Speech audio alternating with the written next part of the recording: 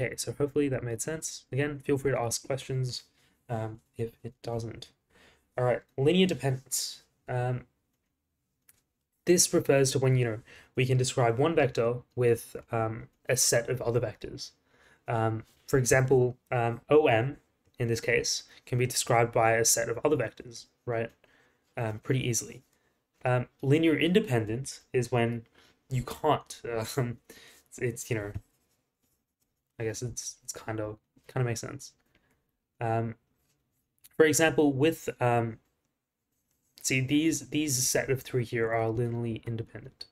Um, however, they because we can't exactly describe them as a combination of the other, right?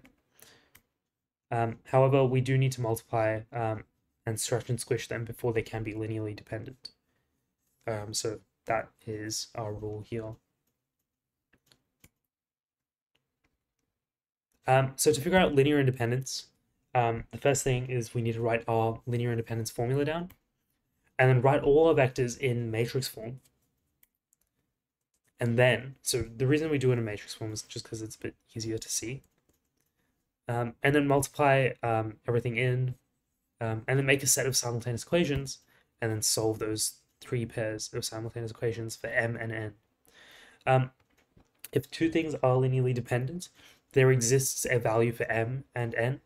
If they're independent, there doesn't exist a value. Sorry. If they're linearly independent, there doesn't exist a value for m and n. it doesn't work, linear independence. Does work, um, linearly dependent. P refers to the term in front of C. Usually we can just, you know, um, set P as equal to 1.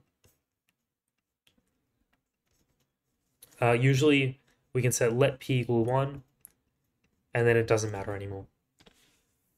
So, yeah, pretty nifty. Okay, have a go at this. I'll give you guys a couple minutes.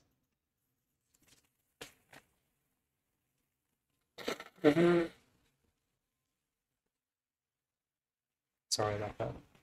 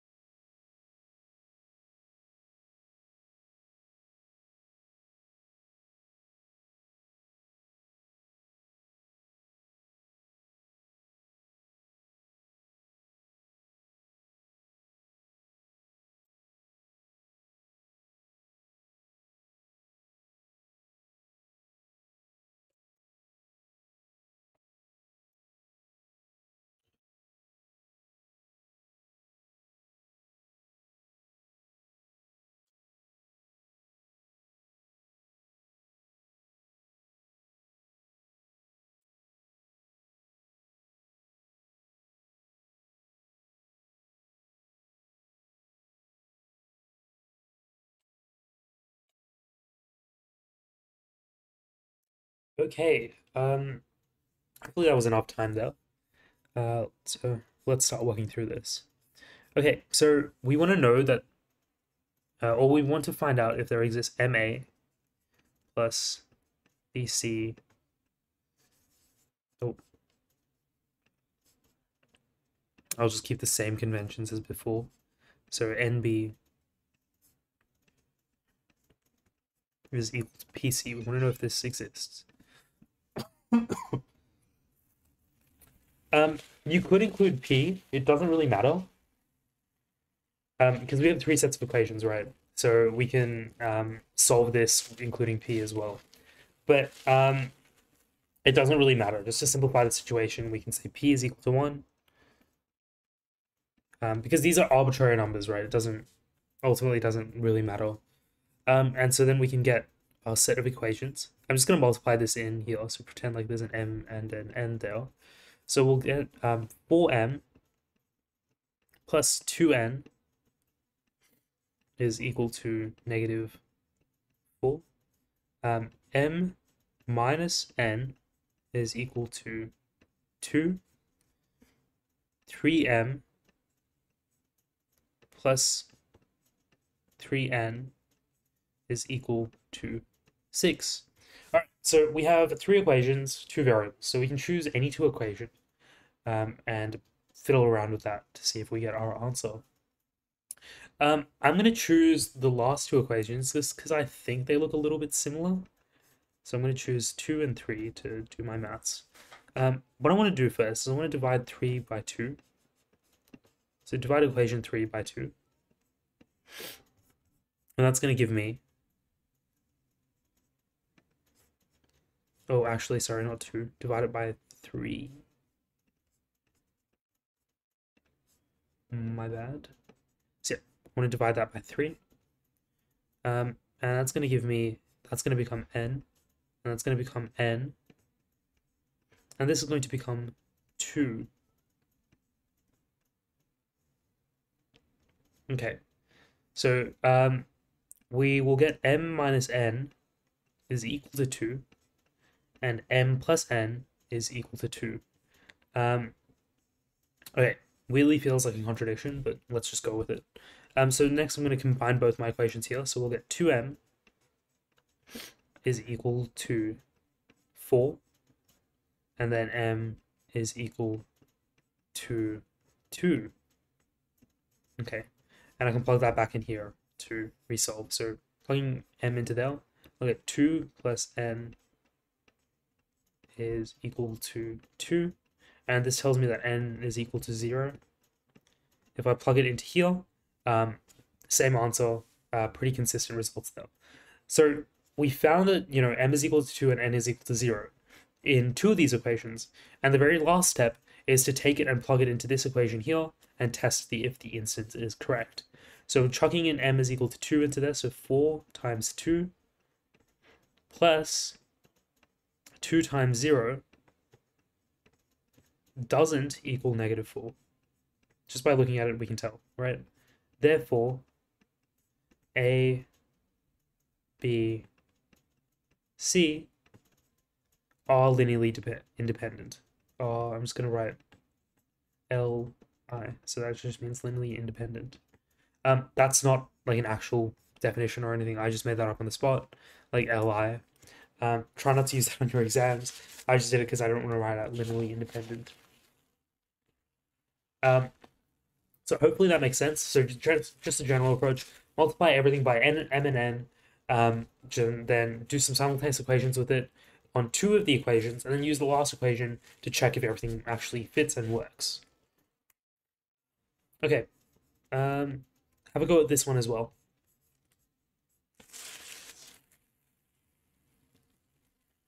I'll create a poll for this one as well. Um, are they... Oh, I don't want multiple choice, I want word cloud. Are they independent?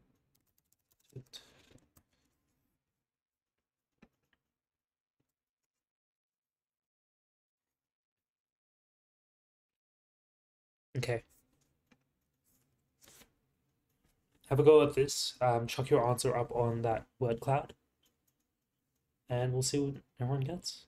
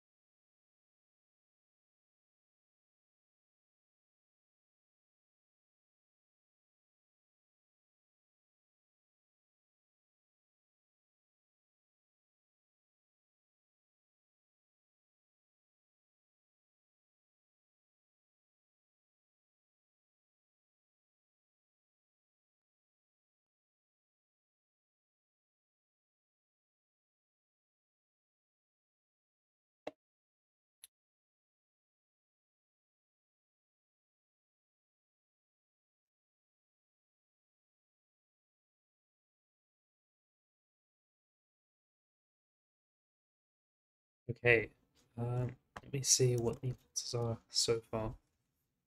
So not linearly independent, and so we've got one that says not linearly independent, and another answer that says yes, they are independent. Alrighty, um, let me have a go at solving this, and we'll talk about it. Alright, so again, I'm just going to write the m and n in front because I'm lazy. Um, and so what we'll have here is m plus 3n is equal to 3.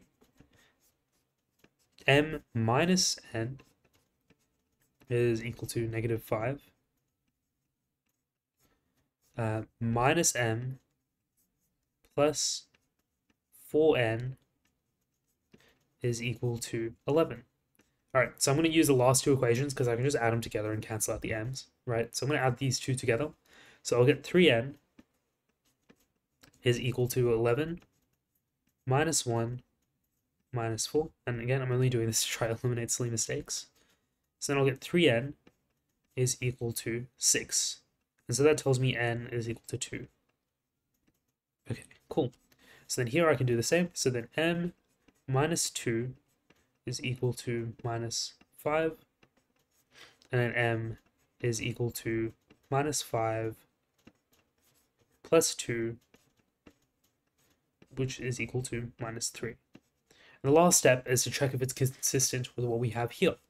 So minus 3 plus 2 times 3 is equal to 3. Yes, this is true.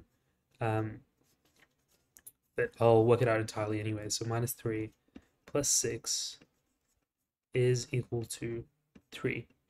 So therefore, um, no. Since there exists an m and an n, um, they are linearly dependent. So they are L, D. Linearly dependent. Let's have a look at what everyone else said. Um, yeah, not linearly independent. Nice. Um, that should be the predominant answer there. Um, so good job to everyone who um, got not linearly independent or linearly dependent. Um, I'm a bit interested to see why people got um, that they are independent.